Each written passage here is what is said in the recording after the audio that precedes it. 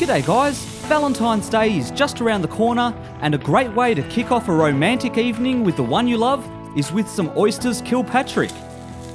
So for starters, take 100 grams of diced bacon and cook it until it's nice and crispy.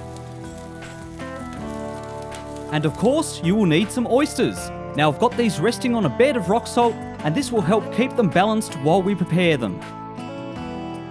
Next, I'm adding a couple of drops of Worcestershire sauce to half of the oysters.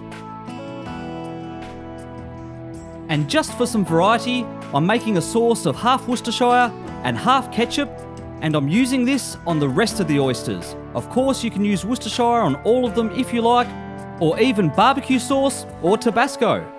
Now I'm taking that diced bacon and sprinkling it over the top of the oysters. And I've got the barbecue set up for indirect cooking or baking mode, nice and hot, 220 degrees Celsius. Of course, you can use your oven for this if you like. And I'm going to bake these oysters with the lid down for 8 minutes. And they're done. Looking absolutely delicious. Serve with a little bit of fresh lemon juice and enjoy. I hope you all have a great Valentine's Day. Thanks for watching, and I'll catch you all next time.